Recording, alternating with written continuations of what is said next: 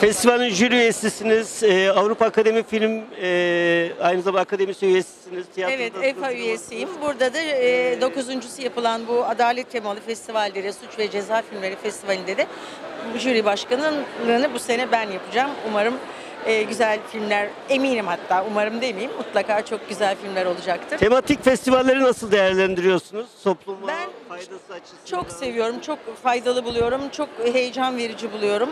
Ee, ve e, yarışma filmlerinin hepsinin belli bir sanatsal, estetik e, e, düzeyin üstünde filmler zaten.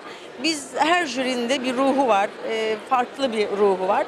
Biz de kendi yarattığımız bu farklı ruhla bu filmleri değerlendireceğiz. Yoksa Evet. eminim ki hepsi Çok teşekkür çok ediyoruz. filmler. Emeğinize sağlık. Böyle bir festivalin içerisinde olduğunuz için sizi tebrik ediyoruz. Ben Sizin de vaktinizi aldık. ediyorum. Çok çok teşekkürler.